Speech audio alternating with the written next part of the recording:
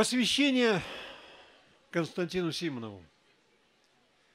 Я пепел, который развеян из чаши, Уверенным ветром над мирной землей, Где было жестокое кладбище наше, Наш первый неравный решительный бой, Где свастики черной катилась лавина, Тяжелые танки давили людей, Где верных друзей наших спит половина, Где лязнет осколок порой в борозде, На срезе окопа – заросшей воронки. На братской могиле я тоненько лег, я сер, как забытый листок похоронки. Но все же внутри меня есть уголек не к мщению, к памяти вас призываю. Пусть веку забвения срок не придет, я с запада землю свою прикрываю, как грудью солдат наступление идут, и под Могилевом, что дремлет спокойно, пусть больше снаряд не взорвет тишину. Всю жизнь я писал про солдат и про войны. Всю жизнь ненавидел я люто войну, и чтобы планета навек не ослепла от смертной вражды, от безумных идей, я падаю горсткою жгучего пепла на раны, на совесть, на память людей. Константин Симонов завещал свой пепел развеять именно там, под Могилевом, на белорусской земле, где был действительно его первый бой – где он увидел эту войну лоб в лоб. Николаю Старченкову.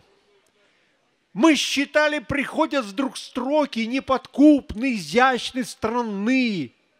Оказалось, что мы не пророки. Оказалось, что мы не жестокие, не задиристы и не умны. Мы считали, что пишем со страстью, что несем миру новую весть. Оказалось, что с нашей напастью нам в палату за номером шесть. Мы считали, что пишем во благо, что внимает нам город, страна. Оказалось, что наша бумага на подтирку и то не годна. Мы считали в презренном металле, не откажут мамона и тать. Мы считали, мы плохо считали.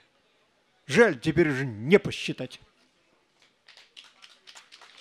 маленькие такие забавные вещи. Я просто хочу проанонсировать завтрашний поэтический турнир. Он будет безбашенным. Я так люблю, когда люди свободно излагают свои мысли. Я считаю, поскольку меня в конкурс все равно не возьмут по старости лет, так сказать, седой лысый, да, то я хотя бы здесь чего-нибудь такое попробую, такое, ну, полегче, что ли, повеселее хоть немножко. Вальсок незнакомой восточной женщине. Я остался, конечно же, с носом. Он длиннее, чем у Сирано. Я пришел к вам с обычным вопросом, а увидел не мое кино. Вы ломали классические руки и манили глазами в полон. Нынче точно бы помер от скуки. А тогда я был просто влюблен. Вы кидали туманные взоры, то просили налить, то совет. И забыли задернуть вы шторы, погасив телевизор и свет. Утром, выйдя из вашего дома, я узнал, что бумажник мой пуст, и что ваша повадка знакома всем окрестным ментам наизусть. Но не стал материться от злости и прохожих в проулке не бил. Я же сам напросился к вам гости, чтобы узнать, что такое дебил. Опасная прогулка по жаркому городу. Ну, давайте про жару. Чем все про холода, про холод. Лето, июль, 37, все как полагается. Держись, моя блудливая душа, не уступай позывам грешной плоти, веди домой пусть на автопилоте, не позволяй налево сделать шаг. Пускай у них и ноги от ушей, и бедра в круг, и глазки с поволокой. На брудершафт готовы, на фуршет. Держись, душа, и будь ко мне жестокой. Вон та идет. Не платье два куска от папиного галстука из шкафа. Под ними ничего наверняка. Эх, поглядел бы ты на дочку, папа. На этой брюке в сеточку насквозь. Там в дырке сом провалится, не лещик. Уши пингистка, ножки вместе, ножки врозь. Из угла еще одна похлеще. Ну что с народом делает весна и солнышко, и теплая погода? Прости, душа, но не твоя вина, что я бреду домой урод уродом. Ну, завяжу я чем-нибудь глаза, нюхну. Коти! И сердце застучало. Дави, душа, сильнее, до тормоза. До дома-то осталось мне так мало. Дошел, подъезд, распахиваю дверь, и кто-то мне кидается на шею. Ура! Жена! Совсем знакомый зверь. Уж ней я справлюсь. Это я сумею. Ну и чтобы безбашенный турнир был у меня покороче, чем у них, там-то вы насладитесь волю. Эдуарду Филю, прекрасному организатору и барду, с любовью и значит, уважением.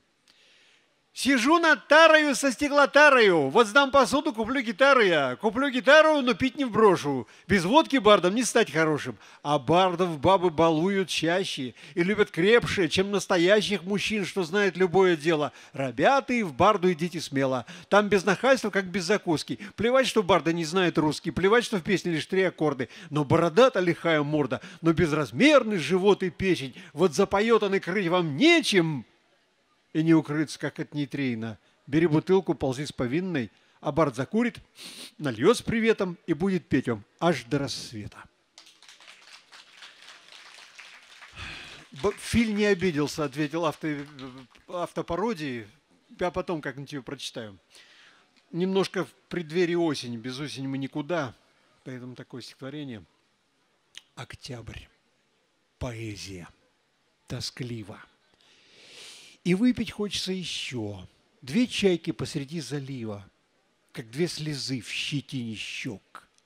С похмелья лечатся поэты, в глазах печаль, душе надлом, и не листвы, а сигареты, дым ядовитый над столом. Фемины ходят, да все мимо. Они на корт, затем на пляж. Лишь драматург неутомимо в блокнот строчит, впадая в раж, насилует свой сотик, критик кричит жене, что не права. В искусстве слишком много гитик, в поэзии одни слова. А солнце тянется к обеду, а море трет и трет песок. Поэты завершат беседу, заглянут в бар, потом в лесок, потом к столу, чтоб слог был точен, чтоб сваи в землю ритм вбивал. Поэзия болит не очень, а убивает на повал.